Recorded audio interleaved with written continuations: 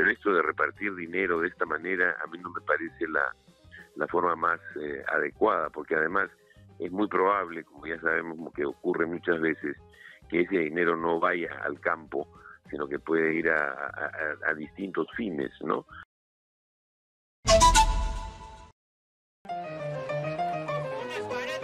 Planifica, invierte, ahorra, cuida tu bolsillo.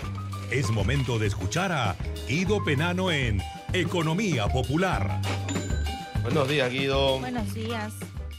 Buenos días, buen Abrazo. lunes. Buen lunes, buena semana. Lunes pesadito, ¿no? ¿Ah? Sí, pues, Eh, no, cargado. no, no sé si más pesado que el tema que vamos a conversar Pero no ahora. muy buenos para los agricultores, ¿no? Para ellos son malas noticias. Cuéntanos, Guido, por favor, lo que va a ser el Midagri.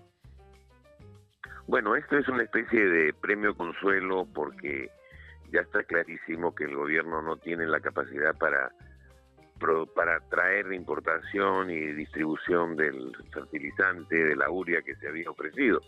Y entonces toda la sensación de que esto es una manera de compensación a lo a lo otro, no a lo no logrado durante tres oportunidades.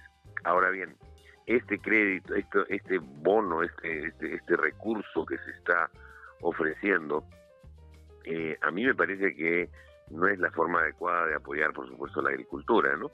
A la agricultura hay que apoyarla con tecnología, a la agricultura hay que, apoyarla, hay que apoyarla con semillas de calidad de primer nivel, a la, agricultura hay que apoyarla eh, con asesoría de qué tipo de cultivos en función a, a qué está pasando en el mercado, a qué va a venir en el mercado más adelante. Es decir, eh, eh, yo escuché que algo de eso querían hacer cuando hablaron de la eh, reforma agraria número dos, digamos, ¿no? Pero esto de repartir dinero de esta manera a mí no me parece la, la forma más eh, adecuada, porque además es muy probable, como ya sabemos que ocurre muchas veces, que ese dinero no vaya al campo, sino que puede ir a, distintos fines, ¿no?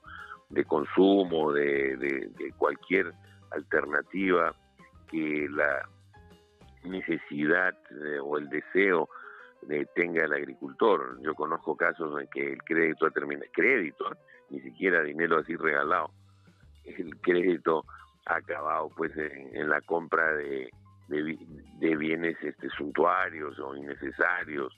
Y entonces a mí me parece que esto es una manera adicional de seguir con esta danza de, de- bonos o de subsidios equivocados. Yo creo que hay que hay que apoyar a la agricultura sin duda alguna, hay que apoyarla y hay que apoyarla bien, hay que ir a esos sectores vulnerables de la agricultura que les falta, como ya dije, conocimiento en el sentido tecnológico, en el sentido de cuál es el tipo más adecuado de sistema de riego, en fin, todo lo que lo que siempre decimos que debe hacerse que va a contrapelo de lo que se está haciendo, ¿no? Mm.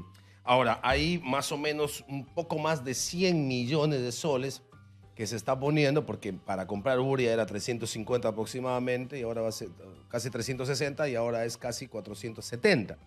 Eh, sin embargo, el, la- el nivel de eficiencia de ese recurso va a ser muchísimo menor, porque primero vas a entregar dinero a, a- a individuos, a personas que van a ir a un mercado con un precio local muchísimo más alto. Entonces, lo que tuviese, eh, lo que estuviese podido eh, ser eficiente con 350 millones, comprando a uno solo a precio internacional, eh, cuando eso empiezas a repartir a medio mundo, esa eficiencia te va a bajar por lo menos, yo creo que entre 30 a 35%, porque solo para poner costo y para poner eh, ingreso y utilidad del empresario, ahí hay mínimo 20%, este, Guido, de lo que corresponde al Sí. pre- al, al- al precio internacional, ¿no?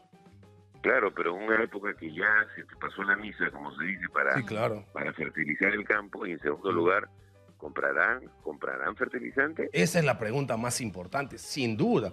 Por eso yo estoy poniendo en que si es que realmente compran, eh, Claro. el, el dinero para comprar va a servir para comprar muchísima menos urea de lo que hubiera podido dar para comprar en el paquete a Así nivel es. exterior.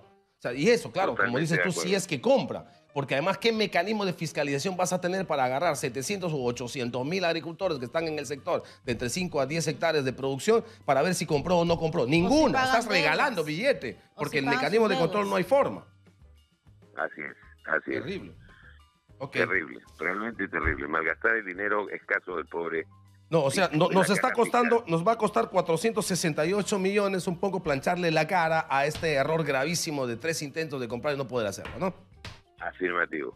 Horrible, es horrible, horrible. Gracias. Gracias, Guido. Un fuerte abrazo. Feliz lunes. Buen día. Precio del dólar para cerrar el bloque económico. 7.50. Abre así el mercado cambiario. Abre la semana, ¿eh? Compra. 3.87 y en la venta 3.89. Ok.